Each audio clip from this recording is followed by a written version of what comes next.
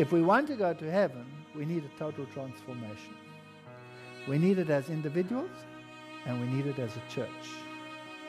And the time has come to speak about these things because we are told that the straight testimony will cause the shaking.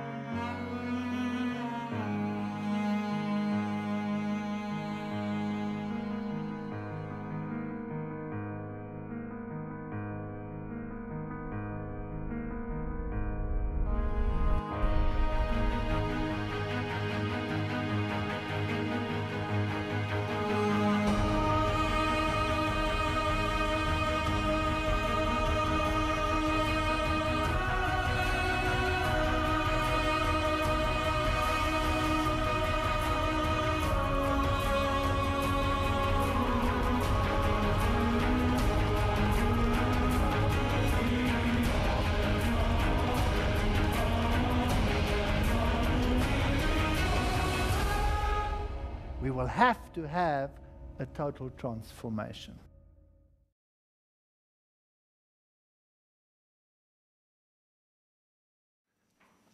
Perhaps I should remind you all and myself why I'm doing this series in the first place, right? I'm doing this series because I love the truth, I love my church, and I love the people in the church. That's why I'm doing the series. And I'm not doing the series to knock the church. I'm doing the series so that people can recognize that this is the remnant church and that they will want to join it in spite of its condition in the current, well, times we live in. And the condition is fortunately prophetic. So if it didn't have the condition, it wouldn't be the church. So, yes, it does have the condition, and in spite of it, it is God's church. I've titled this, I Hear an Abundance of Rain.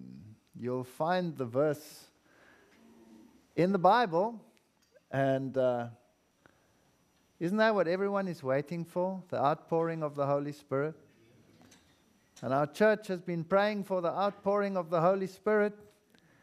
And we've had uh, whole movements in the world for the outpouring of the Holy Spirit. And I sit there with this heavy heart and I think, hmm, okay, go ahead, pray for it. go ahead. We need a total transformation.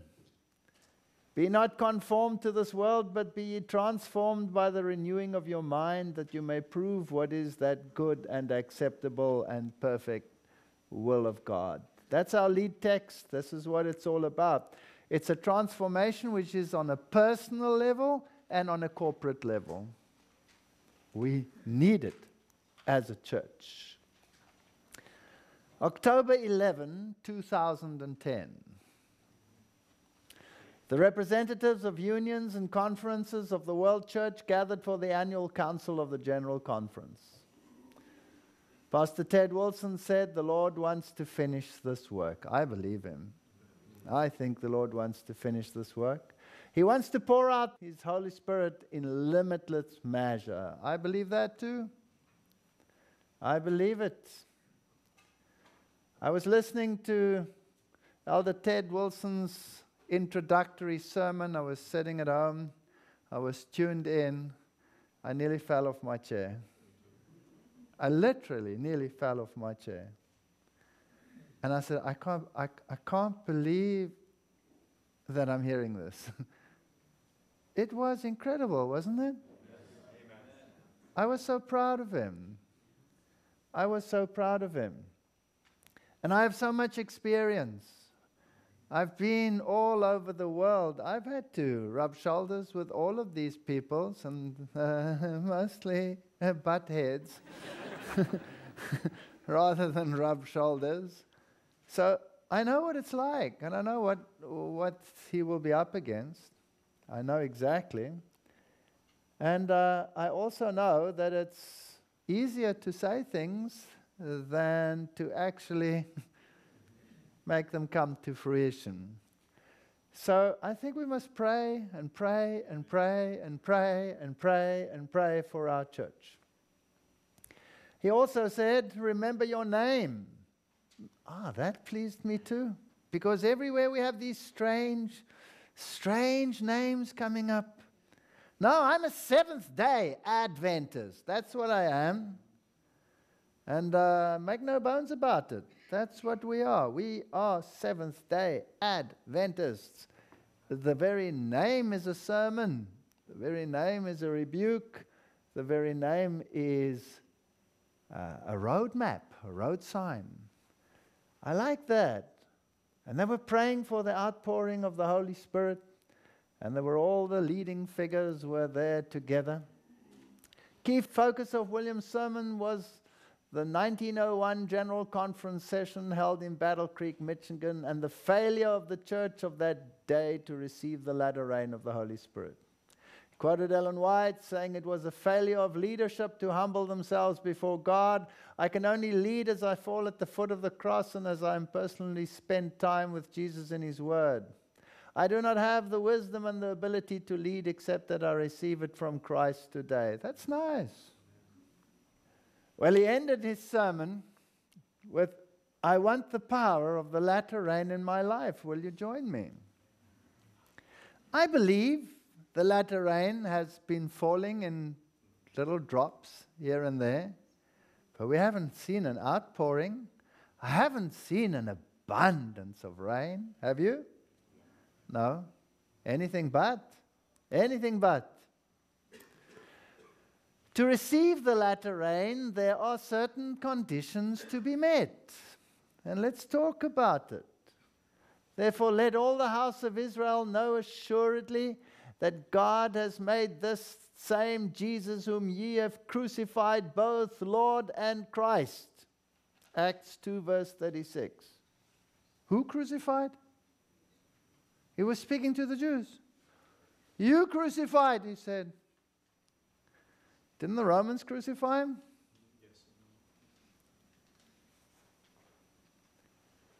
Now, when they heard this, they were pricked in their heart and said unto Peter and the rest of the apostles, Men and brethren, what shall we do? Peter said to them, Repent, be baptized, every one of you, in the name of Jesus Christ for the remission of sins, and ye shall receive the gift of the Holy Spirit. For the promise is unto you and to your children and to all that are afar off. Is he talking to us? And as many as the Lord our God shall call. Is he talking to us? And verse 2, 23 says, Him being delivered by the determinate counsel and foreknowledge of God, ye have taken and by wicked hands have crucified and slain. And I looked at this text. You crucified him. You have taken, and, taken him and handed him over to wicked men. And I thought, well, that's true. I did it. I'm guilty. I did it. I am the responsible. If I were the only person on the planet it would be me that was responsible for his death. I crucified him. My sin crucified him. I handed him over to wicked men to be slain. I can look nowhere else. I cannot blame the Jews. I cannot blame anyone. I can only blame myself. I did it. And we all have to get to that point. We did it we crucified the Son of God. Acts 5, verse 32, and we are his witnesses of these things, and so also is the Holy Ghost, whom God has given to them that obey him. Is that a condition? So there's a condition. And we've had all these movements in the churches praying for the outpouring of the Holy Spirit. We've had whole years dedicated to praying. I think we can pray on knees away, it won't help. If there's not a total transformation, there will be no abundance of rain. We can forget it. Lip service will not do it. Luke 11 13, if ye then being evil, our condition is not so hot, is it? Know how to give good gifts unto your children, how much more shall your heavenly Father give you the Holy Spirit to them that ask him? So here's another condition. We have to ask, but to ask without meeting the conditions is wasted breath. Ephesians 6:18 praying always with all prayer and supplication in the spirit watching thereunto with all perseverance and supplication for all the saints. Just because we haven't had it doesn't mean that we must give up. Just keep going. Keep going. Which also said, Ye men of Galilee, why stand ye gazing up into heaven? This same Jesus which is taken up from you into heaven shall come in like manner as ye have seen him go into heaven.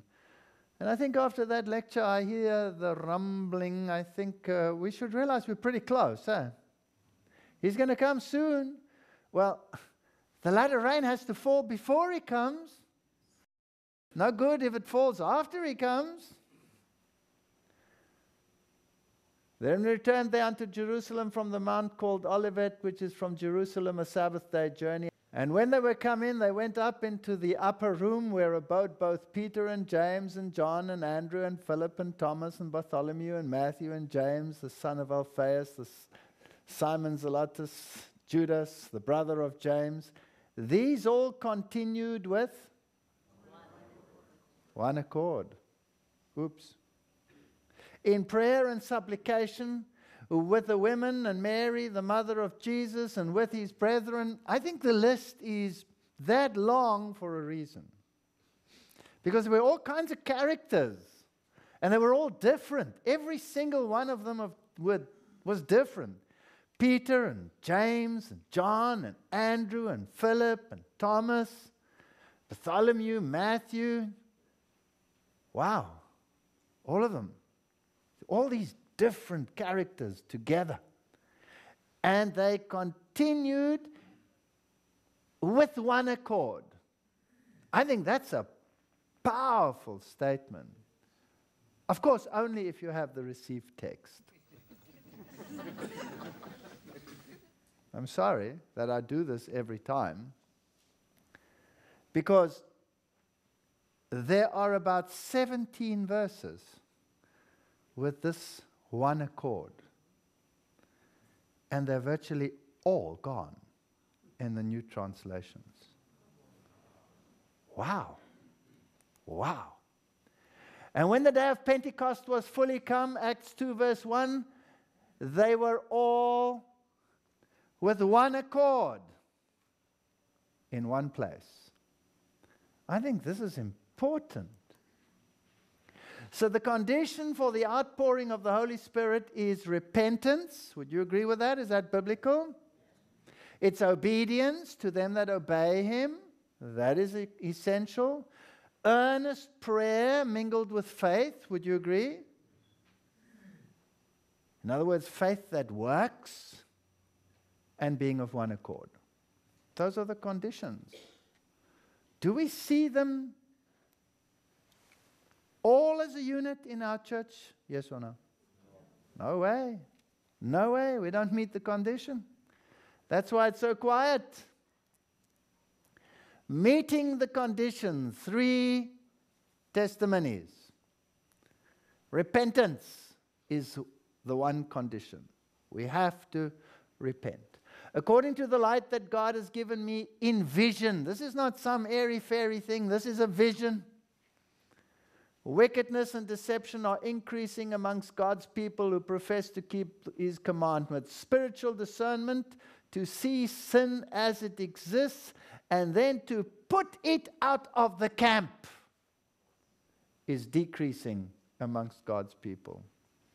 Could that be why we are not receiving the latter rain? Are we putting the evil things out of the camp? We're talking about it. I'm grateful to hear all the beautiful things that are being said, but is it being put out of the camp?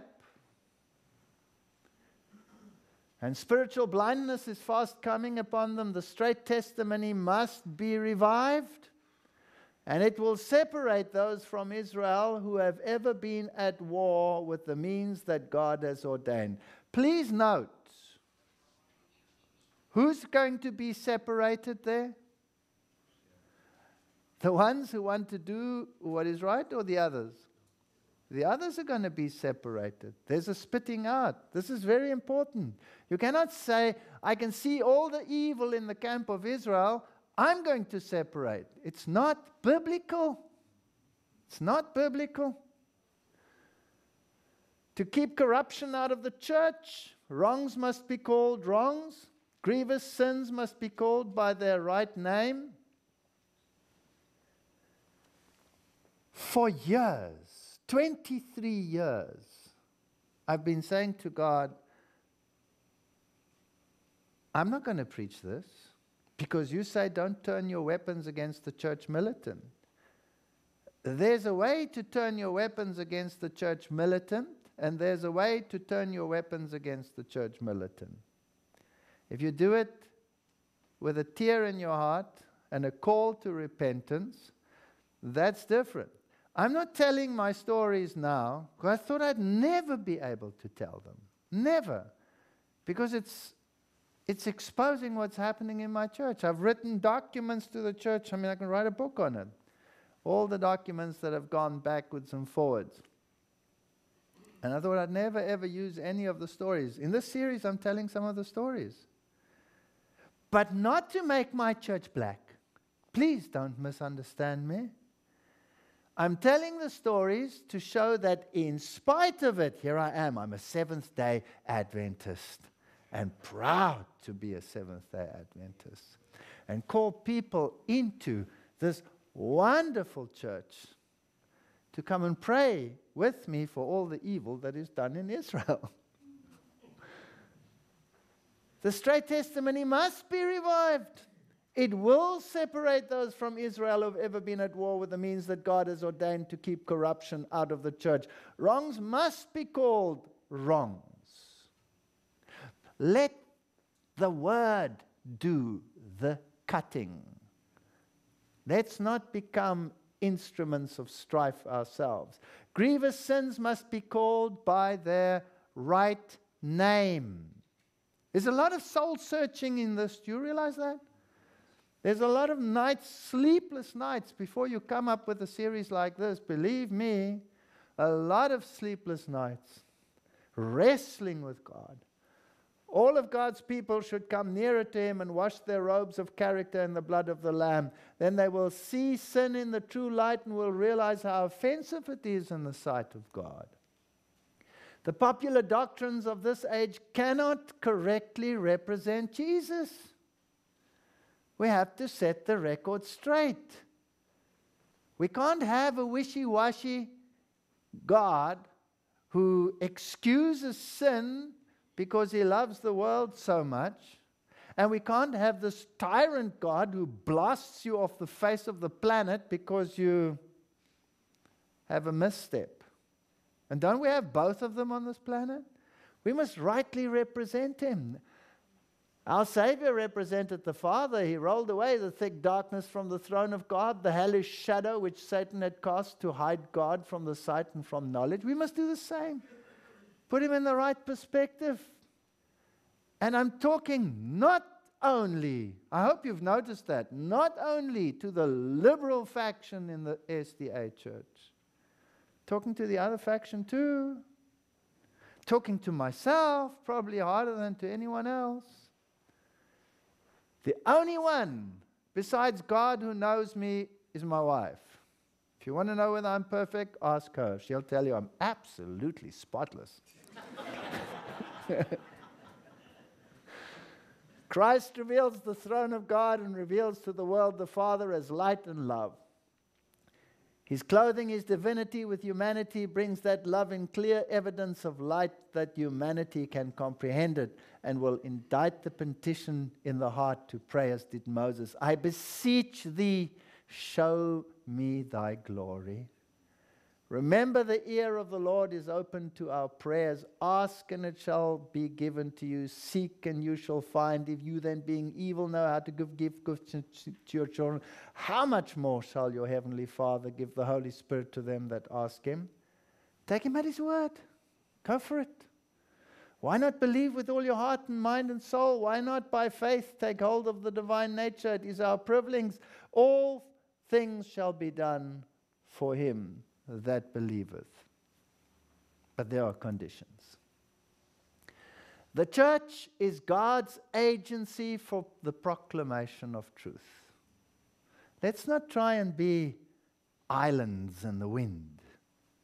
We belong to a church, empowered by Him to do a special work and if she is loyal to him, obedient to all his commandments, there will dwell within her the excellency of his divine grace. If she will be true to her allegiance, if she will honor the Lord God of Israel, there is no power that can stand against her. Isn't this wonderful stuff? If the church will put on the robe of Christ's righteousness, withdraw ooh, from all allegiance with the world, here's a problem. There is before her the dawn of a bright and glorious day. It will take more than a wrench to make the church do that. We are so entangled right now, it's unbelievable. Unbelievable. God's promise to her will stand fast forever. He will make her an eternal excellency, a joy of many generations. Truth passing by those who despise and reject it will triumph. Although at times apparently retarded, its progress has never been checked. Never been checked. When the message of God meets with opposition, He gives it additional force that it may exert greater influence. Endowed with divine energy, it will cut its way through the strongest barriers and triumph over every obstacle. I have honestly learned in my life there is nothing you can do against the truth. You can only do something for it. No matter how you oppose it. And believe me, I've wrestled more than most to ask, Lord, should I really have said this or that or the other. I mean, if you get so much criticism, you sit down and you think, aren't they perhaps right? Aren't you perhaps the most presumptuous person on the planet? And I've wrestled with that. Nights. Ask my wife. I've wrestled nights. And then I hear that little voice by the fruits you will know them. There are people making decisions and coming into the church in spite of its condition. I mean, I've had total strangers come up to me and say they joined the church. It was the biggest nightmare of their life. They're just hanging on to their chairs, but they're in the church. Isn't that rewarding? Yes. I had one couple come to me in Europe. Oh, Europe. And they came to the truth all by themselves through the Total Onslaught series. They were so excited. They went to the church. They said, We want to come and join the church. Is this the Seventh day Adventist church? The pastor said, Yes. He said, Well, we want to join your church. He says, Welcome, come inside. That's great. And he said, How did you get to know the truth? And they said, Well, we watched the Total Onslaught series. Total face changed. He says, Well, then leave. We're not interested in people like you. Can you believe it? Yeah. People told me myself. And guess what? They went to another one, the Seventh day Adventists, in spite of it. God is incredible. I would have run and said, Well, get lost, right? Not these folks. They're in the church. 1 Kings 18, verse 41. And Elijah said, Are we the antitypical Elijah? So is this more or less in the right context of antitypical time? Get thee up, eat and drink, for there is the sound of abundance of rain. So, in order for the latter rain to fall, we need to repent of our syncretism. Now, that's a nice word. Do You all know what that means? Syncretism is the great sin of Israel. And syncretism is the great sin of antitypical Israel. It's worshiping God in two ways mingling pagan worship with the true worship was what Israel did. They prayed in the temple, but they worshiped Baal in their rituals. Isn't that what they did? And we do the same thing. We have syncretism in the church. We've taken the practices and the methodologies of Babylon and sanctified them in God's temple, in His church. We've done that. And that's our sin. We are worshiping Yahweh by the methods of Baal. And it's not acceptable to God. You cannot serve two masters at the same time. The Jews thought they were doing a wonderful thing. They even put the images right into the temple.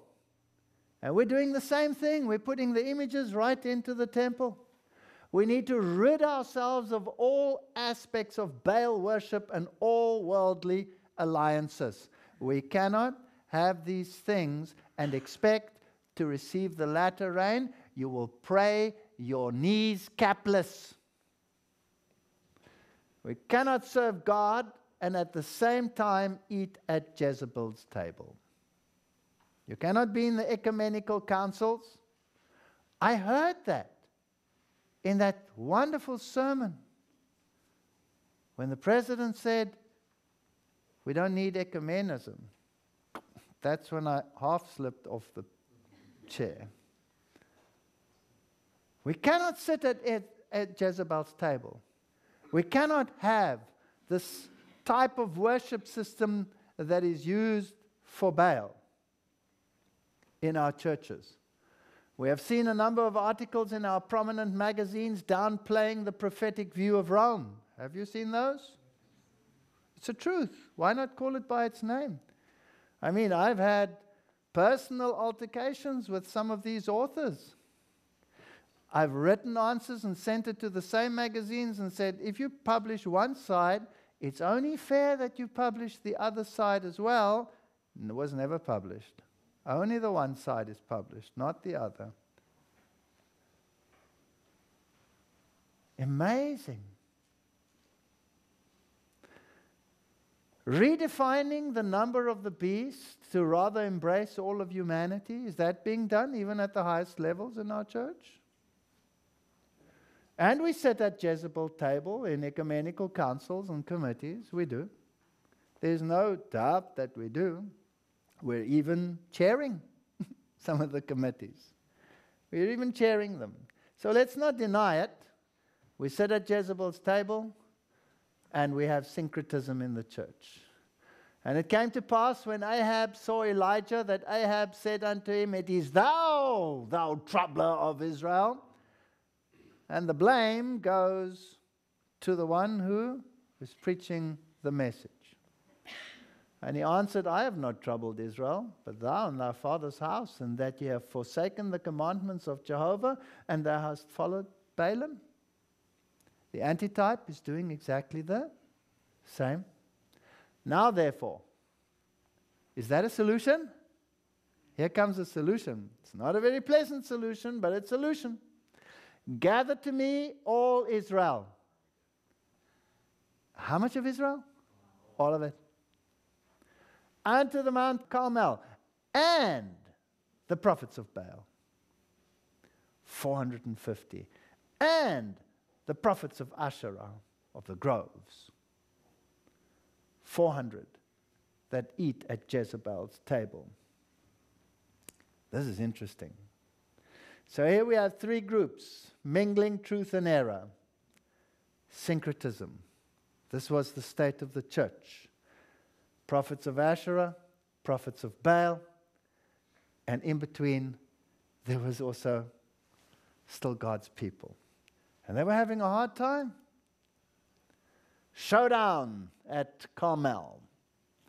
So Ahab sent unto the children of Israel and gathered the prophets together unto Mount Carmel. And Elijah came near unto the people, and he said, How long go ye limping between the two sides? If Jehovah be God, follow him, but if Baal, then follow him. And the people were stum. Do we have the same situation today? I don't know. I think God's people have lost their voice. Nobody says anything. Everybody just tolerates everything. We don't want to be divisive. We don't want to cause trouble. And the troublers of Israel, do you support them or do you support her? Not a word. Not a word. Let them therefore give us two bullocks, and let them choose one bullock for themselves, and cut it in pieces, and lay it on the wood, and put it on the fire. And I will dress the other bullock, and lay it on the wood, and put no fire under it, and call ye on the name of your God. And I will call on the name of Jehovah, and the God that answers by fire, let him be God. Now, fire is a symbol of what? Of the Spirit. Let him be God. And all the people answered and said, It is well spoken. Okay, let's do that. I think we're at that point. We're at that point in history. Let's say, let's, let's lay it down on the line. Let's say, all right, let's check it out. Let's say, see if it works. The prophets of Baal danced and cut themselves and made a bedlam of noise until they were hoarse. That's me saying that. do we do the same? Have you been in one of those worships? I have. Are we surprised that there is no fire from heaven? I was there in England doing a camp meeting in one of the counties, and their camp meetings go over 10 days, long, long camp meetings. And uh, it was a huge hall, thousands of people. And every day they would have a youth concert. And on that stage, I don't know how many, uh, at least seven drum sets. At least seven. And the youth would go in and they would make a bedlam of noise.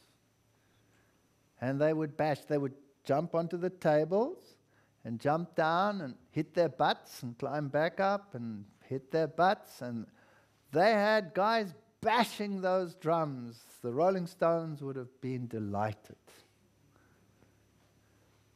And you know, my heart sank. And they had Willow Creek sermons on the one side, and that, what's his name? That fit, fit fight guy from Africa doing sermons on the other side. And people's heads were going, Two totally different worlds. One camp meeting. And of course, when the youth had their thing, then there was a recess for the elder, older people, and they did whatever they did. I've told the story again before, but I'll tell it again because it's so encouraging to me. And here was this huge noise. And I was walking around there and it was a huge foyer, and the halls went out of the foyer. One huge hall that way, one huge hall that way, one huge hall that way. And there was this young West Indian guy, black guy, young guy, 20s, and he was standing outside the door of this youth bash. And so I sidled up to him and I said to him, What are you doing here? He says, I'm waiting for my friends. I said, Where are your friends? He says, They're in there. And I said, Well, why aren't you in there? He says, Well, I can't go in there because my Jesus isn't in there. One guy. Well, would that prick your interest? Pricked mine. So I said to him, uh, But your friends are in there. So why are you hanging outside? Why don't you go away if you say Jesus is not in there? He says, Well, because my friends are in there. I'm praying for them. And so we chatted a little bit, and I walked away, and I was thinking about this. And he came running after me. And he said, Do you mind if we chat a little bit? So I said, No, it was a huge foyer. So I grabbed a chair there. There were chairs stacked in the one corner, and we sat down, just he and I. And we spoke, probably for an hour, about all these things that interest young people and the problems in the church and the this and the that. And every day they had these meetings. And then he said to me, Tomorrow, can we chat again? And I said, Sure, I'll come around. We'll chat again. So the next day I went there, and there were 20 of them while the noise was going on. And the next day we went, I went again, and there were 200 of them. And then probably three or 400. I can't remember, I didn't count them. But it was a huge crowd. And you know what? Not one of them really wanted to be in there. Not one. It was peer pressure. Peer pressure. But what encouraged me is no matter how bad it looks, God still has his children. And don't think you can brainwash the youth with the bedlam of noise. You can't. You can't brainwash them. Some destroy the solemn impression they may have made upon the people by raising their voices to a high pitch and hallooing and screaming out the truth. When presented in this manner, truth loses much of its sweetness, its force and solemnity. If the voice is toned out right, if it has solemnity, modulated, so, you know, as to be even pathetic. it will produce much better impression. The Holy Spirit never reveals itself in such message in such a bedlam of noise. This is an invention of Satan to cover up his ingenious methods of making of none effect the pure, sincere, elevating, ennobling, sanctifying truth for this time. A bedlam of noise shocks the senses, perverts that which is, if conducted aright, might be a blessing.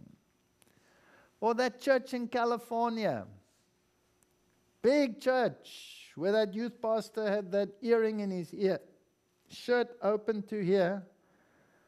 I think he had four chest hairs that he just had to show everyone.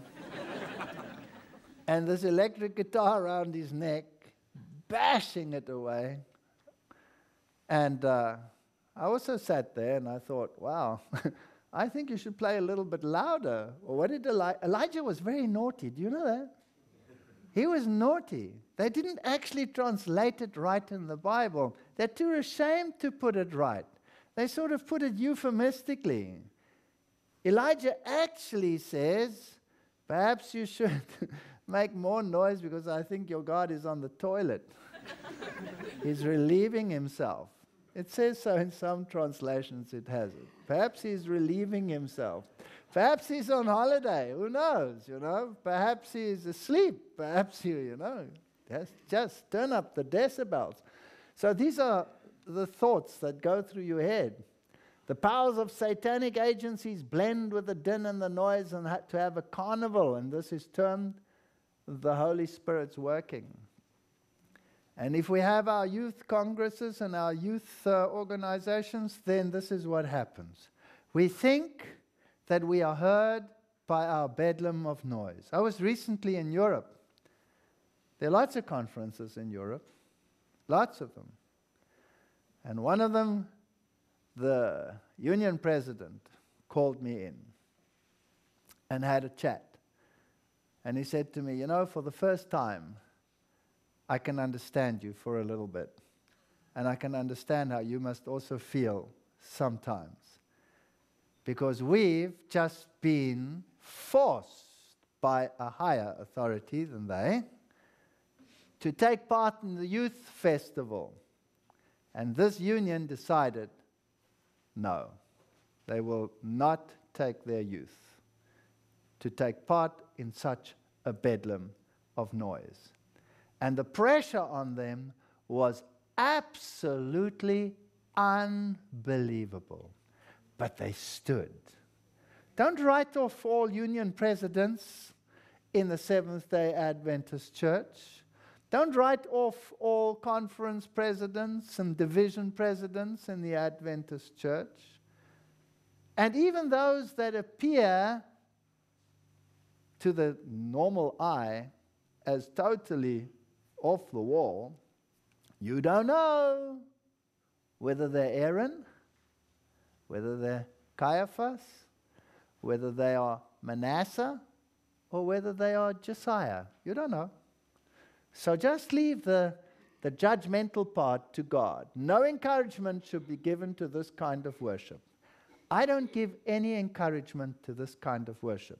But I've said consistently we stay in this church and we buy ourselves a bucket of glue and we sit down. And now I do that. I did that at that big camp meeting. And you know how many people came to me? Hundreds. Old people, young people afterwards, just because of what I did. I did nothing. When they sat down in the manger service, to sing this kind of stuff, you know, with arms flying. I don't know whether lots in Australia. I could still understand it. There's lots of flies, and you have to go like this uh, in order to wipe them away. But I mean, England, no flies. I mean, why they were going like this, I don't know. So they sing these songs and they go crazy. And me, I sit. I don't get up. I just sit in my pew and I take out my Bible and I start reading. And then they sing a hymn a normal hymn. Every now and then they do that in the church. Have you noticed that? Syncretism. Then I stand up and I sing like crazy. The next one is a fly eradicating process again. I sit down and I read my Bible. People watch you. They notice that. They come to you and they say, Why'd you do that? Because I said, I, I don't think my God is deaf. I don't think that I have to, you know, have gesticulations to get his attention. You know, like people who, who take up Eastern mysticism and they learn to contort their bodies, and eventually they can get their legs into a knot and they can plug their toes into their ears. and then God gets their attention. He says, Wow, that's cool. I mean, how did you get into that knot? I really must have a chat to you, you know. And then you have this amazing experience with God. I don't believe in salvation by contortion. Do you believe it? No. Worship should not include a bedlam of noise. It is impossible to estimate too largely the work that the Lord will accomplish through his proposed vessels in carrying out his mind and purpose. The things you have described, and then she talks about Indiana, that would come in again. And uh, there will be shouting with drums and music and dancing again in a church in California. This. Uh, drum set was there and everything was going crazy on the stage. And then, then it was my sermon. It was young people. It was thousands of young people.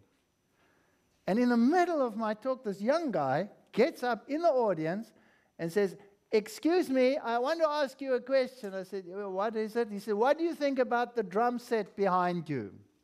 He was provocative, all right? So I said, I'm delighted to see it. And I carried on with my sermon. Total silence. and then about 30 minutes later, I said, Oh, by the way, you want to know why I'm delighted to see this drum set? And he said, Yes. I said, Because Ellen White said just before the close of probation, drums will come into the Seventh day Adventist church. I'm delighted that we're going home soon.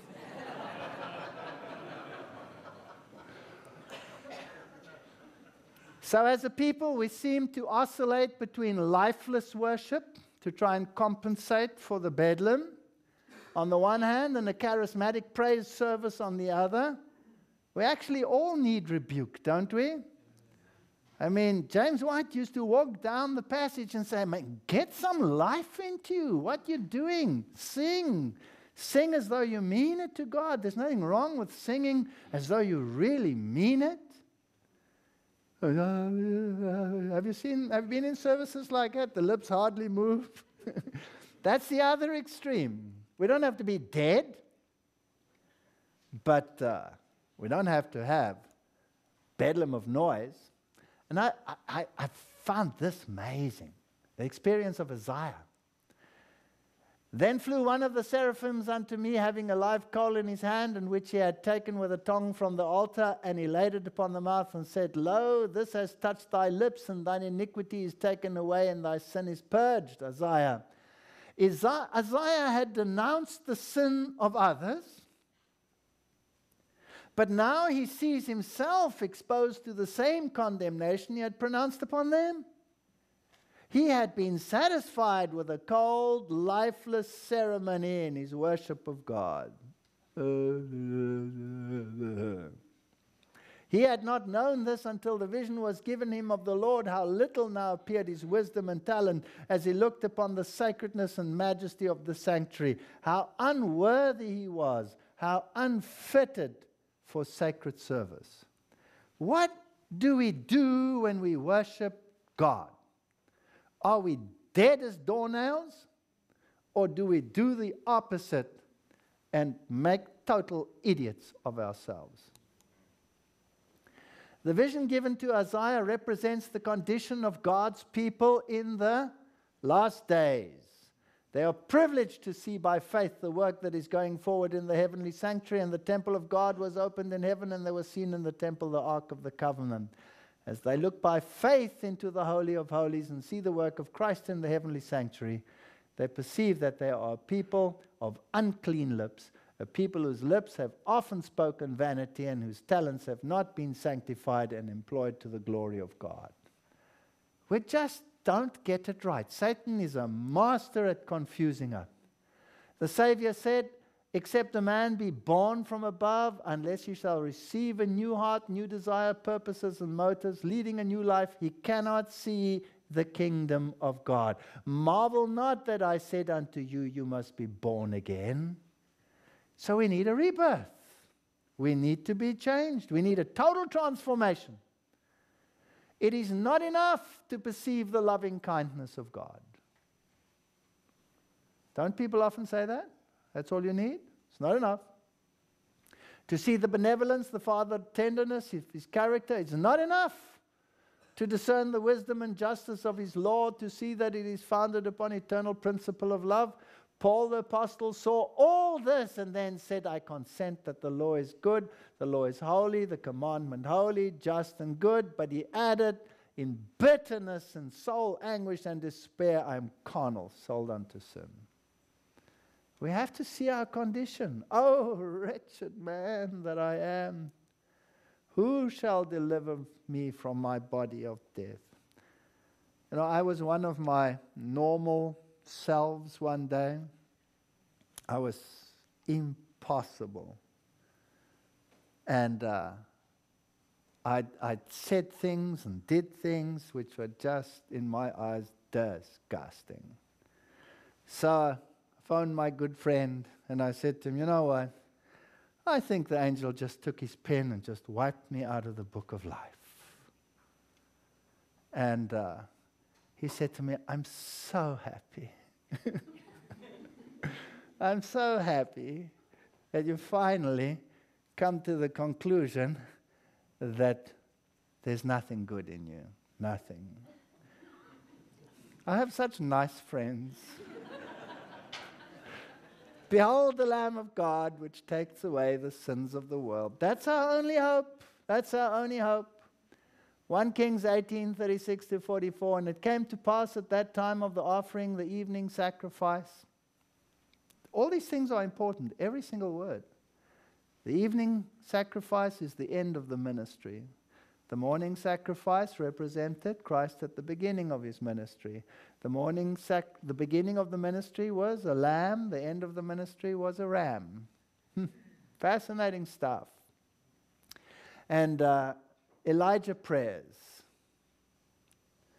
He came near and he said, Lord God of Abraham, Isaac, and Israel, let it be known this day that thou art God in Israel. He didn't have an earring, he didn't have an electric guitar, He didn't have seven drum sets to get God's attention.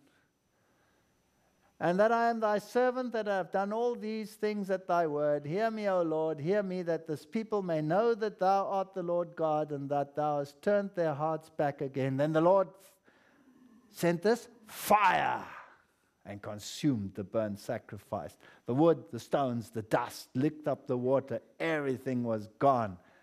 And the people said, The Lord God. When are we going to have services like that again in our church? Huh? When are we going to come to life and say, The Lord God, He is God? And then comes the next thing. Elijah said to them, Take the prophets of Baal, let not one of them escape. And they took them. And Elijah brought them down to the brook Kishon, and he slew them. What would be the antitype? That we go and pick up our swords and kill everybody who's doing Baal worship in the church? Would that be a good antitype? No, the straight message will have to do this, not us. What did uh, Jesus say when uh, Peter took out his sword? He said, It is enough. It is enough. And what did he say to the sons of Zebedee? You don't know what spirit you're of. You don't know. So these are, these are important considerations. But one thing is for sure the Baal worship in us has to die, in whatever form it is. The worship of Asherah, which was salvation by my works, by myself, because remember, Asherah is the female deity. In Roman Catholicism, it's represented by Mary, isn't that right? And Mary is born immaculate. She had an immaculate conception which means she has the ticket to heaven without the death of Christ. That's worship by sanctification by self. Uh uh-uh, uh. Uh-uh. Everybody stands rebuked here. The conservatives who say, Here I am, look at me, I don't eat cheese anymore. That's the one side. And the other side, is the let's make a bedlam of noise because Baal is probably relieving himself and needs to get our attention. Both of them, he slew them. Let's kill the prophets of Baal in us. Let's kill the prophets of Asherah. And let's get rid of our propensity to go and be with Babylon. I've seen it all. I've seen it all in my church. I cannot believe what I've seen in my church. I was in an East Bloc country. I have many stories, eh? I'm going to tell them. I'm going to tell them. I sat there. This is the same place where the man ate all the unclean foods, and I went, bah! In that same place, they had an ecumenical weekend, and I was unfortunate enough to be there at the time in our headquarters, in ours. And that night, there was the entourage with the cardinal, with about 50 nuns walking behind him. It was a nice picture, I should have taken it. And then all the monks, and then all the Orthodox priests and the Protestant representatives. And one of the leading men of ours oh, it was nauseating to listen to. How he lifted the cardinal onto a pedestal. That even the cardinal was surprised and said, I wasn't even aware that the Adventist church was so ecumenical. And I looked at this, I was sitting in the audience, been invited from Africa. This professor, you know, they had a fancy guest, and I nearly died because then he said, We even have a guest from Africa who would wish to welcome you with a word of welcome from Africa. Would you care to come to the. Oh, I thought I was going to die. and I got up, and the sweat was starting to come on my brow, and I thought, third angel's message won't go down too well under these circumstances. Second angel's message, Babylon is fallen. I don't think that'll go down too well. I'm stuck with the first angel's message here. So I went to the front and I said, I wish to greet you, Mr. Cardinal, and everyone else. Anyone who loves the everlasting gospel. Anyone who wants to come into harmony with the everlasting gospel, welcome. and I went and sat down again, and this other pastor next to me, he was dying of laughter. We have strange things happening in our church, you know that? We love to sit at Jezebel's table. And Elijah went to the top of Carmel and he cast himself down upon the earth and put his face between his knees. Now it gets interesting, and he said to his servant, Go up now, look towards the sea. And he went and looked and said, There's nothing. And he said, Go again, seven times. I bet sweat was coming on his brow, didn't? Don't you think so? I think he was sweating. Because he just said to Ahab, Get up, eat, and drink, for there's the sound of an abundance of rain. And here was nothing. Blue sky. I'm making an idiot of myself here. And he put his knee, head between his knees and he said, Oh Lord, please, please don't let me look like an idiot now. There's nothing. And it came to pass at the seventh time that he said, Behold, there arises a little cloud out of the sea like a man's hand. Does that ring a bell in another context? Wow, this is just before the coming of Christ. There isn't much time between these things. The typology is wonderful. And soon there appeared in the east a small black cloud. Does that ring a bell? about half the size of a man's hand, and people of God know this to be the sign of the Son of Man. A solemn silence. They gaze upon it as it draws nearer the earth, becoming lighter and more glorious. And she turns to second coming of Christ. But here it was rain, rain, an abundance of rain. And there's the brook. Not much of a brook, I was there. This is where the blood flowed. This is where the Baal priests disappeared. This is where the priests of Asherah, those that sat at Jezebel's table, right there, Elijah slaughtered them all. So it is the Elijah message, the antitypical message that will purge and cleanse the church of these things. But in case we think it's always the other guy where does that Baal and that Asherah and Jezebel really sit in here? Let's get rid of it. Let's start with ourselves. That's my good friend Francois. I had to put him in there. Yes, he's the one who says, Get yourself an air filter. You're going to stay in the dust. Now, on Mount Carmel, Valley Park, Kishon River, and it gives you all the details.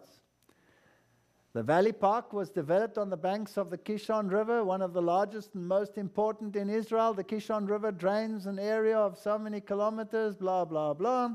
It was first mentioned in the Bible in Judges 5:21. The river Kishon swept them away, that ancient river, the river Kishon. Not a word of what happened here. Not a word. Actually, that story is also typological uh, and has to do with an antitypical Armageddon, but uh, I don't think they discerned that. No, no, no, let's keep that story away and uh, let's put the Baha'i center on Carmel. It's interesting how Satan always wants to put his stamp on the places where God did the most magnificent things. So, this is the Baha'i World Headquarters and the Shrine of the Bab, the one, uh, the gate, who says, I'm the gate to heaven. Jesus said, I'm the door. So, it's either this Bab guy or it is Jesus, one of the two, right? Choose whom you will serve. And uh, there it is, right on Carmel. And he takes the top to the bottom with all his nice occult symbols and his beautiful gardens, his groves, his shrines of Asherah, and his symbols of sun worship. and his beautiful hanging gardens of Babylon, and he is the Bab. We were traveling to Syria once and we came through a little town. I've never seen such chaos in all my life. The town's name was Bab El, which is the opposite of El Bab. Now, it, the town was El Bab, which is the opposite of Bab El. So it's gate to God, or God's gate. And I thought, how fitting. I should actually show a little video of it. Somewhere in there, I must have one. You've never seen such chaos. Perfect symbol of Babylon. But look how nice it looks. They even have the hanging gardens of Babylon. The Shrine of the Bab, 21st of March 1909, the mortal remains of the Bab, one of the central figures of the Baha'i faith, were interred in the shrine that is focal point of these gardens. Martyred in Iran, 1850, the Bab had devoted himself to preparing the way for the Baha'u'llah, founder of the Baha'i faith, and for his message of the unification of humankind. Come out and be separate, come together. The opposite message. Elias was a man subject to like passions as we are. And he prayed earnestly that it might not rain, and it rained not on earth by the space of three years and six months. And then he prayed earnestly, and it poured. And saying, Sirs, why do, the, why do you do these things? We also are men of like passions with you. Acts 14 15. So the Elijah message and those who represent the Elijah message have a terrible drought up to a point when we get rid of what is wrong in our midst. Is that right? Does that make typological sense? So we can pray till we're blue in the face for the outpouring of the latter rain in the church. We will have individual drops. We will have no outpouring until the Baal in us, the Asherah in us, and the Jezebel kuchi kuchi kuchi goo disappears. Before that, no latter rain. Elijah humbled himself until he was in a condition where he would not take the glory to himself. That's important. This is the condition upon which the Lord hears prayer, for then we shall give the praise to him. The custom of offering praise to men is one that results in great evil. We cannot have what we have in the world today. And it's no good denying it because I've seen it with my own eyes. Lord God of Abraham, Isaac, and Israel, the prophet pleads, Let it be known this day that thou art God in Israel, and that I am thy servant, and that I have done all these things at thy word. Isn't that beautiful? It's so plain, it's so simple. Ellen White says, when you pray, pour out your hearts to God as to a friend. A silence, oppressive in its solemnity, rests upon all. The priests of Baal tremble with terror, conscious of their guilt. They look for swift retribution. Then the fire comes down and the flame. He reverentially bows before the unseen God, raises his hands towards heaven, offers a calm, simple prayer unattended with violent gestures, contortions of the body, no shrieks resound over Carmel's height, solemn silence. Wow. It's like when the Red Sea separated and the children of Israel went through. We need this condition in our church. Number one was repentance. Get rid of what's wrong in the church. Number two, back to obedience. And there's a sermon that Christ says, Not everyone that says unto me, Lord, Lord, shall enter. And then he gives this interesting lesson of the parable of the two sons. This parable was spoken of Christ's last visit to Jerusalem before his death. He had driven out the buyers and the sellers. His voice had spoken to the hearts with the power of God. Amazed and terrified, they had obeyed his command without excuse or resistance. Isaiah chapter 5 says, Now I will sing to my well beloved a song of my beloved touching his vineyard. My well beloved has a vineyard and a very fruitful hill.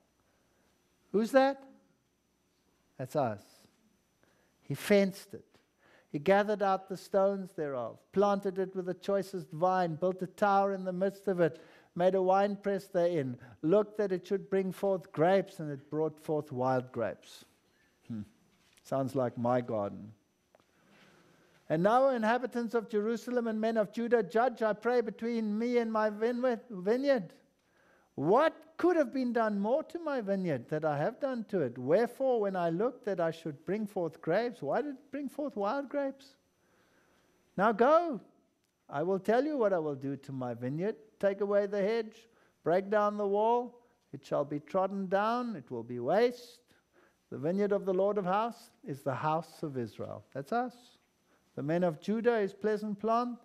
He looked for judgment, found oppression. He looked for righteousness, and behold, people crying. I've seen many people cry in this church.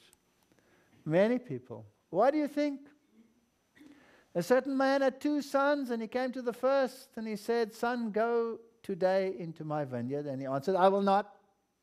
But afterwards he repented and he went. Came to the second, and he says, I'll go, sure, I'll do it. And then he didn't go. So which one did the will of the Father? Actually, neither of them.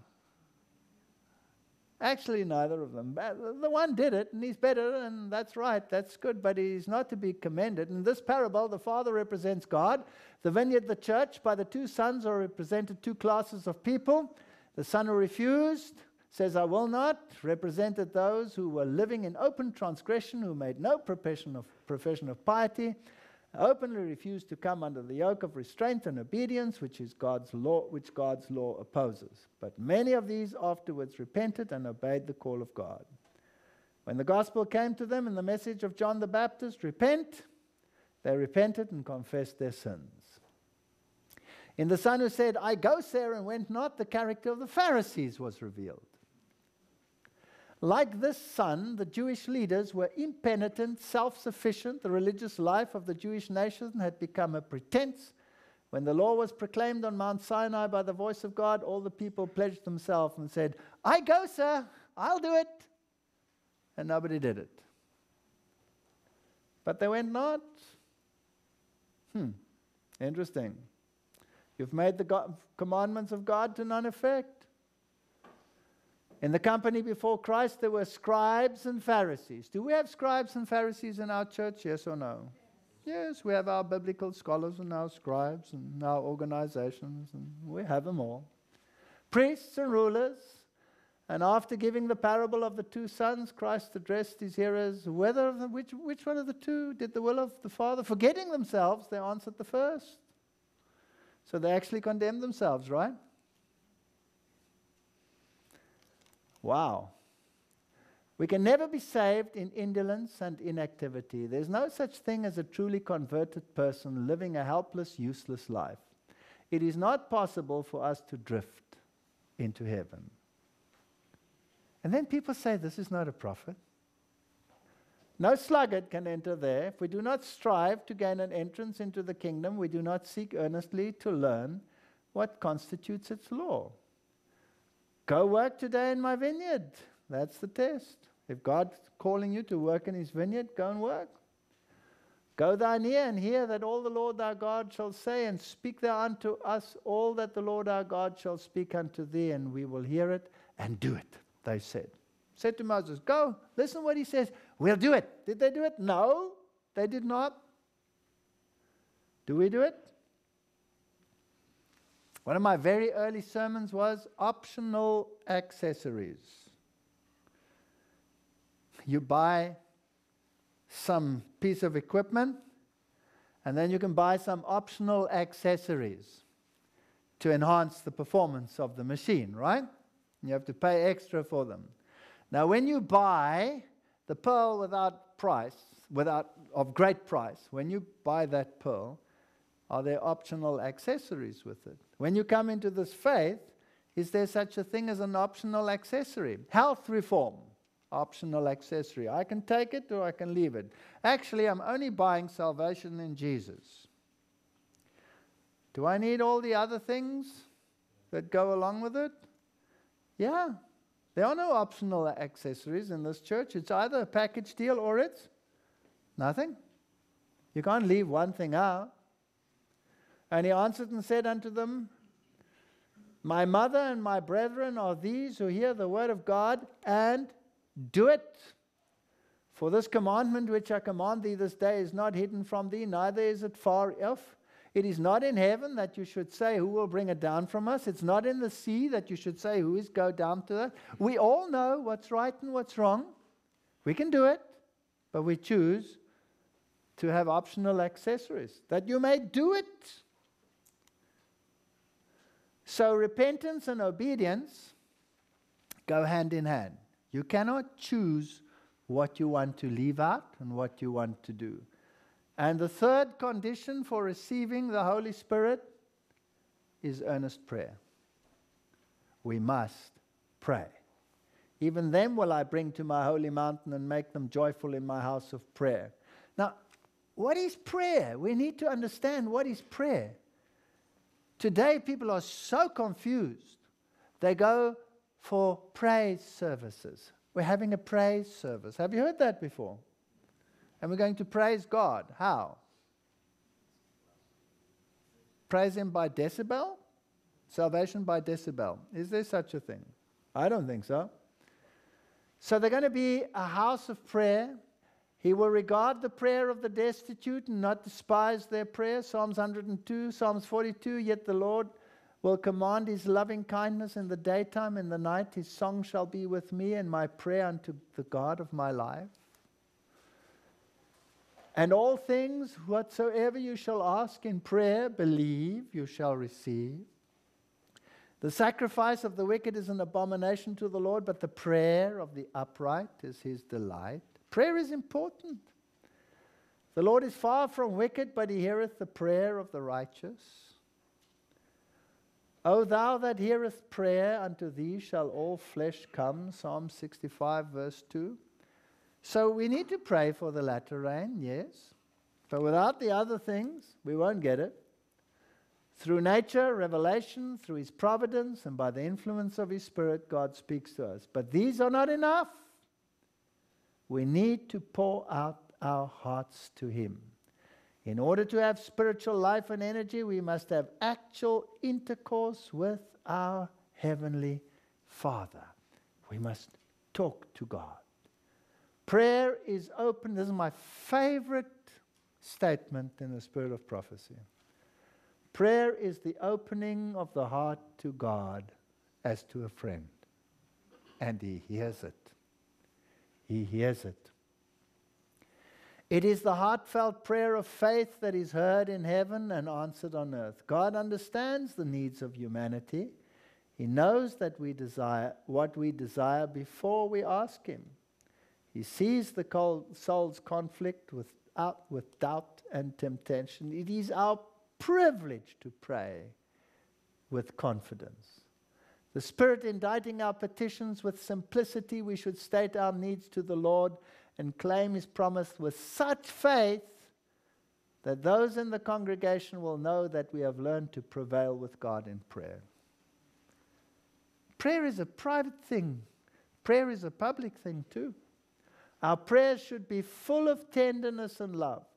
When we yearn for a deeper, broader realization of the Savior's love, we shall cry to God for more wisdom. If ever there was a need for soul stirring prayer and sermons, it is now. We are on the threshold of the greatest event in the history of the universe. James 4, verse 8 Draw nigh to God, and he will draw nigh to thee. Draw nigh by prayer. Draw nigh to God, and He will draw nigh to you. Draw nigh to Him by prayer, by contemplation, by reading His Word.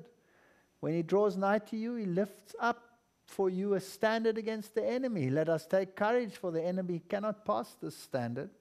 You have to accept it by faith. Nothing that happens to us happens to us without it passing by Him first. Reverence. Oh, how our church needs reverence. Have you noticed that? I want to sometimes die True reverence for God is inspired by a sense of His infinite greatness and a realization of His presence. You know, how often we hear the, the man upstairs, you know, and this and that and whatever.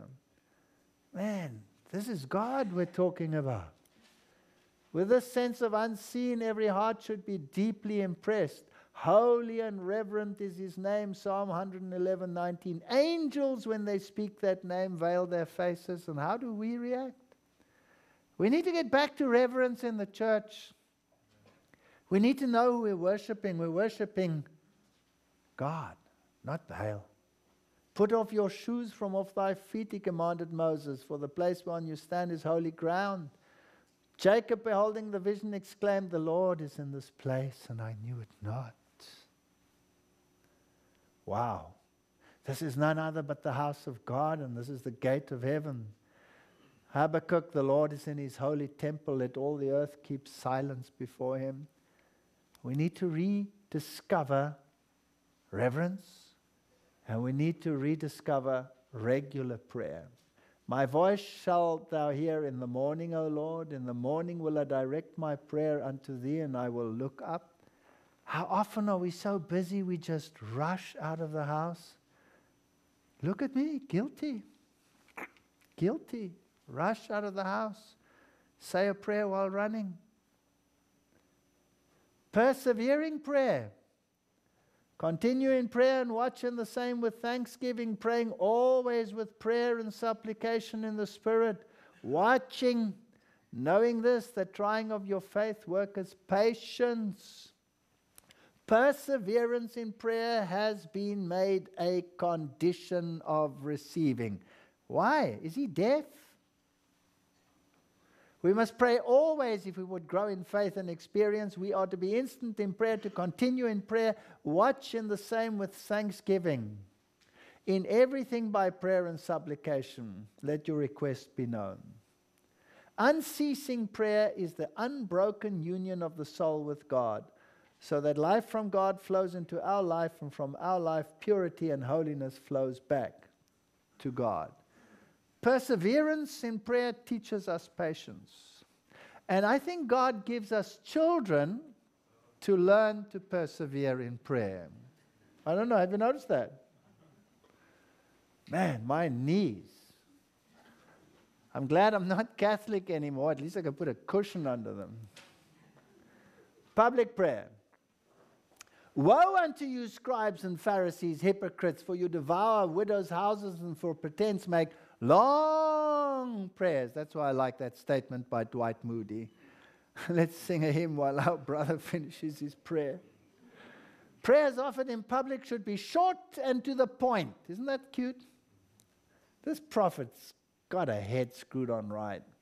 It is often because secret prayer is neglected that long, tedious prayers are offered in public. There's a time for a long prayer in public if people come together and you're really honestly, you know, working with yourselves and with God and, and everybody is praying, then the prayers can be longer. But people generally fall asleep if somebody prays long in the front there. Get to the point. Prosy, sermonizing prayer are uncalled for and out of place in public. A short prayer offered in fervor and faith will soften the heart of the hearers. Look at that little prayer of Elijah. Communal prayer. And now, look at this. Confess your faults one to another and pray one for another that you may be healed. The effectual, fervent prayer of a righteous man availeth much. What does the NIV say to that? What do the new translations say? Confess your sins one to another. Ellen White says, and now I think I'm on pretty strong ground.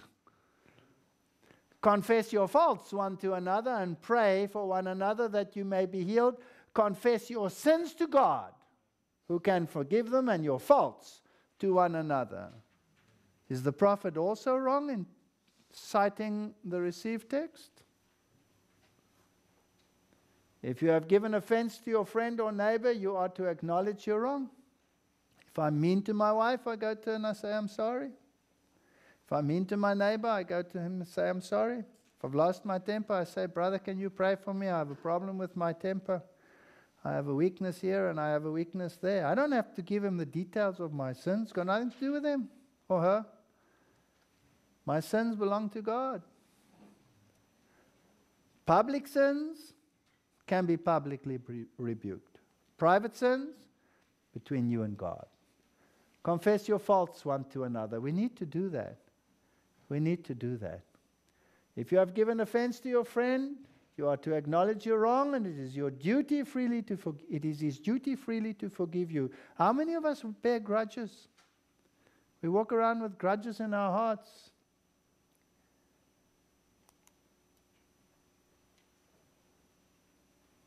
Faults. What does that say? A side slip. That is unintentional error, transgression, a fall, a fault, an offense. In the concordance, it does say sin, but that is not the essence of it. Verily I say to you, all sins shall be forgiven unto, unto the sons of men, and blasphemies wherever they shall have blasphemed. Sin, there's the other word for sin, hamartema. This is a totally different Greek word, and it's not apt to directly translate it as sins. Thou hast set our iniquities before thee, our secret sins in the light of thy countenance. Sin of a private character is to be confessed to Christ, the only mediator between God and man. Yes, let's not ignore such instruction. I'm instructed to urge upon our people most earnestly the necessity of religion in the home among members of the household, there is ever to be a kind, thoughtful consideration. Says the apostle, confess your faults one to another, confess your sins to God who only can forgive, and your faults to one another. Is it pretty clear? When David sinned against Uriah, he pleaded before God forgiveness against thee. Thee only have I sinned and done this evil in thy sight. Yes, we can run to God. Many, many confessions should never be spoken in the hearing of mortals. It's pretty straight. God will be better glorified if we confess the secret inbred corruption of the heart to Jesus alone than if we open the recesses to finite erring man who cannot judge righteously. Do not pour into human ears the story which God alone should hear. We must be careful that we don't get duped to drink the wine of Babylon and empty that cup of iniquity. Your sins may be as mountains before you, but if you humble your heart and confess your sins, trusting in the merits of a crucified and risen Savior, He will forgive. I cannot change what I did. If I had to make a list of my sins, I mean, Satan has one. it probably stretches around the planet about 50,000 times. And he'll be able to say to Jesus, Well, look at this guy, look what I've got recorded here. And I will have to say, Yes, Lord, he's right. I, don't have, I have no right to go to heaven. I have no right to go to heaven. If God had to say to me, I'm going to blot you out because you have no right to be there, I'll say, You're just, you're right. I have no right to be there. My only claim is his merit. That's my only claim. Unheard prayer. There's something like that too. Pray not for thou for this people, neither lift up a cry nor prayer for them, neither make intercession to me if I will not hear. Pray now not for this people, neither lift up a cry. Jeremiah 11:4, he says the same thing. Cry unto me for their trouble. Formal prayer is not acceptable. In many cases, the morning and evening worship is little more than mere dull, monotonous repetition. And I even find that I do that. I have such a long list of things that gets boring. In the end, I can just say, Here, Lord, here's the list. The ox knows his owner and the ass his master's crib, but Israel does not know, does not know. My people does not consider. Sinful nation. Hear the word of God, ye rulers of Sodom, give ear unto the law of our God. So if we are disobedient, God will not hear. So if we ask for the Holy Spirit but we don't correct the wrongs, will we get it? No. To what purpose is the multitude of your sacrifices unto me, says the Lord? I'm full of the burnt offerings of rams and the fat of fed beasts, and I delight not in the blood of bullocks. When you come to appear before me, who has acquired this of your hand to tread my courts? Bring no more vain oblations, incense, and all these things. I will not hear. Wash, make clean, put away the evil of your doings, make right. Learn to do well. If you be willing and obedient, if you refuse and rebel, it won't happen. We need to learn this as a church. Not my will, but thy will. Go to now, ye that say, Today and tomorrow we will do such and such in this city. No, say, if it the Lord wills. If the Lord wills, then I will do it. Let no man seek to go about God's work in any one of its branches in his own strength. For if he does, the fruit will not be such as abide into eternal life. I cannot say, wow, look what a great message I have. I'm here, Lord, I'm the messenger. Here we go. Ooh, pathetic. I'm part of this church. And I put everything subject to the church. And I value the counsel of my brethren. I have the right to choose brethren I trust in the church. I could get into big trouble if I don't. Our ideas must be elevated. Lift him up, the man of Calvary. Man's wisdom is foolishness. Many do you not know this. They form connections with persons no more pious or consecrated than themselves. They counsel and plan with them, and if their devising is accepted, it will surely lead away from the right path. Our Heavenly Father waits to bestow upon us a fullness of His blessings. It is our privilege to drink from the fountain. What a wonder it is that we pray so little. If we regard iniquity in our hearts, He will not hear. Another element of praying, prevailing prayer, is faith. We must believe. We must believe. You know, people say to me, I feel as though there's a ceiling God does not hear. Have you heard that? My prayers are not getting through. You're not praying to Baal. Baal's deaf. He needs a bedlam of noise. Our God hears everything. And if you feel there's a ceiling, what do you say? By faith. I know that that prayer has gone right through my supposed ceiling. God knows. I know He's heard it. And I leave it in His hand. If He doesn't wish to answer it right now, that's his business. That's fine. Thank you for hearing it. Here I go. I wouldn't be able to survive without that. If we expect our own prayers to be heard, we must forgive. If you have a grudge in your heart against anyone, and we have reason in this day and age to have grudges, forgive. We must have family and secret prayer. We should pray in the family circle and above all, we must not neglect secret prayer. Matthew, but thou, when thou prayest, enter into thy closet, and when thou shut thy door, pray to thy Father which is in secret, and thy Father which seeth in secret shall reward thee openly. You know, we have all kinds of methodologies of prayers today, and uh, special places where you have to be, an imagination prayer, and this kind of prayer. Nonsense. God is your friend. You talk to Him one to one. But you mustn't neglect, neglect secret prayer. And nobody needs to know where and when you're praying. Don't make a show of it. Home religion is greatly needed, and our words in the home should be of a right character, and our testimonies in the church, otherwise, our testimonies will amount to nothing. Keep your wants, your joys, your sorrows, your care, your fear before God. You cannot burden Him. There's nothing that you can't tell Him. Talk to Him. There's no chapter in our experience too dark for Him to read. He knows everything. And what does it mean to pray in the name of Jesus? Just a couple of words you add to the end of a sentence? No, it means to pray in the mind and spirit of Jesus, to pray in His character, and to be in attuned to Him.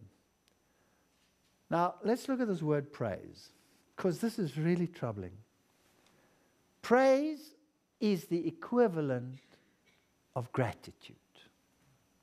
We have praise services. Come, let's come together. Let's have a praise service. And we make a huge noise in some churches to praise God. That's not praising God, that's praising Baal.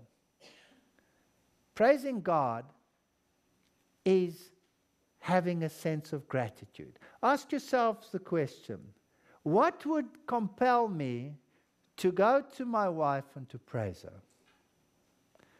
And to say, wow, you're such a wonderful wife. Thank you. What would make me do that? Gratitude, isn't it? Gratitude for something, small thing, big thing, whatever she does in my life. That would compel me to go and praise her. If I had to get up every morning and start singing a loud eulogy, eventually she'd, you know, get a pan or something to shut me up. it wouldn't make any sense. We need to praise God more for His goodness and for His wonderful works to the children of men. Our devotional exercises should not consist wholly in asking and receiving, let us not always be thinking of our wants and never of the benefits we receive. So you thank Him for what He does to you. You cannot praise God unless you have an experience with God. Why do we keep so silent in regard to the goodness of the Lord? Why is there so little praise and thanksgiving? How heaven must look upon our ungrateful silence, so like the sullenness of peevish children. If you want to praise God, thank Him for what He does. And sometimes we have to change our character. Ellen White says, look at the pinks. You can look at the thorns and the thistles and say life is miserable and nothing good happens. Forget about the thorns. They're going to be there till the end of time. Look at the pinks. Praise is making music to his glory. You shall eat before the Lord your God, and you shall rejoice in all that you put your hand unto you and your household, wherein the Lord God has blessed thee. You will sing in your hearts. To that which is done for the glory of God should be done with cheerfulness, with songs of praise and thanksgiving, not with sadness and gloom. Songs have to come by themselves, they have to come out by themselves. Sometimes when I'm really depressed, I go into that mountain behind my house and I look at the eagle and I look at the sky and sometimes I sit for an hour or whatever. And then sooner or later, when you start looking all at these things, you start noticing you're actually singing in your heart. Cheerful, yet solemn melodies. Lest ye sooner heard a voice that sounded like many musical instruments all sounding in perfect strains, sweet and harmonious. It surpassed any music I'd ever heard. It seemed to be so full of mercy, compassion, and elevating holy joy. It thrilled through my whole being. Said the angel, Look thee. My attention was then turned to the company I'd seen before, who were mightily shaken. So there's a shaking coming. There's a shaking coming, and this music in our hearts must be tuned to the heavenly music. As we express our gratitude, we are approximating to the worship of the heavenly host. That's powerful. So, praising God is gratitude. We cannot praise God without an experience. Recall what God has done for you. And if you are feeling depressed, think back on all the doors He's opened for you. Exclamation of gratitude, that's praise, not a bedlam of noise. Praise is witnessing through kindness. It is the duty of the children of God to be all light in the Lord and scatter blessings upon the paths of others. Not for the sake of works, because that's gospel reversal, but for the sake of gratitude. If God has done to you, then give unto others. If God has blessed you financially, ask God, Lord, show me who really needs help. And then help those people.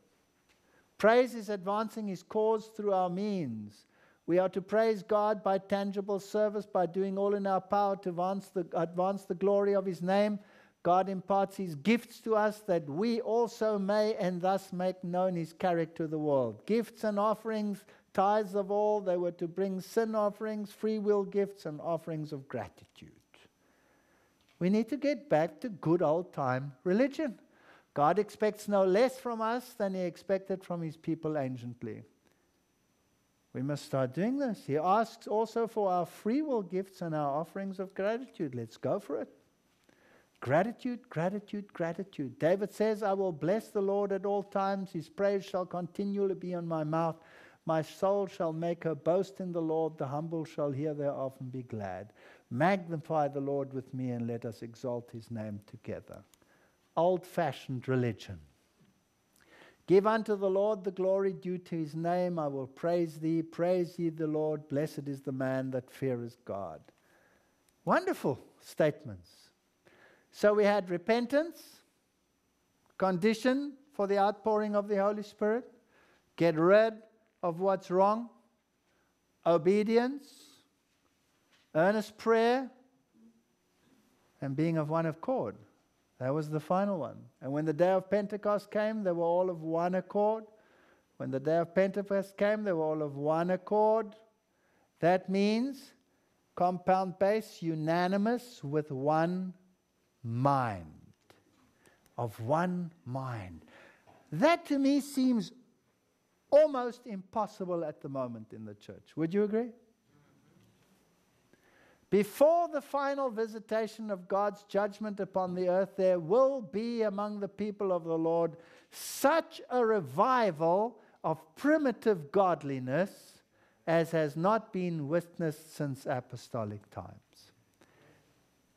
The one accord can only come after the shaking, cannot come before the shaking. Cannot. The work will be similar to the day, that of the day of uh, Pentecost, the former rain. It will be given at the close for the ripening of the harvest. It'll come right at the end, right at the end. They were all of one accord in one place. The Spirit came upon the waiting, praying disciples with a fullness that reached every heart. The Infinite One revealed Himself in power to His church. Under the influence of the Spirit, words of penitence and confession mingled with songs of praise for sins forgiven. Are we beginning to see the picture? All heaven bent low to behold and to adore the wisdom of matchless, incomprehensible love. Now, listen to this putting away all differences, all desire for supremacy. They came close together in Christian fellowship. All these different characters. Now, how do we do that, Lord? How can we put away all differences if we are as far removed as the east is of the west to the west sometimes? The disciples felt their spiritual need. They were weighted with the burden of the salvation of souls. We need this revival of true godliness amongst us, which is our greatest need. All of these things have to come together. It's our privilege to take God at His word. As Jesus was about to leave the disciples, He commissioned them, He gave them this power to continue with one accord in prayer, with praying and special fervency. All of these things are necessary. They prayed all the more earnestly, continued in prayer, one accord. They were of one accord, they were agreed. Lord, how are we going to get there? Help us. A revival and a reformation must take place under the ministration of the Holy Spirit. Wow. Well, there was a second temple cleansing. Do you remember that? First cleansing, second cleansing. And so the same will happen in the church. There was a temple cleansing at the beginning of his ministry, there was a temple cleansing at the end of his ministry. There will be a temple cleansing under the early rain, there will be a temple cleansing under the latter rain. Things are going to change in the church. They will have to. But I will have to cling to Christ, not to be shaken out myself. Know you not that you are the temple of God and that the Spirit of God dwells in you? And what agreement has the temple of God with idols? Baal worship will have to go. Asherah worship will have to go. Not only the other one, but in me. We are the temple. For then I will restore to the people a pure language, Zephaniah, that all may call on the name of the Lord to serve him with one accord. New King James Version. The watchmen shall lift up the voice with the voice together, they shall sing, for they shall see eye to eye. Fulfill ye my joy that ye be like minded, having the same love, being of one accord, of one mind. Philippians 2, verse 2. This is, this is mind blowing. Answering the prayer of Christ, we draw nigh to God individually, then don't you see what the result will be? So if we start here, if we start here and we cleanse up this soul temple, can't you see that we'll draw nigh to one another? If everybody would do that, it would be magnificent.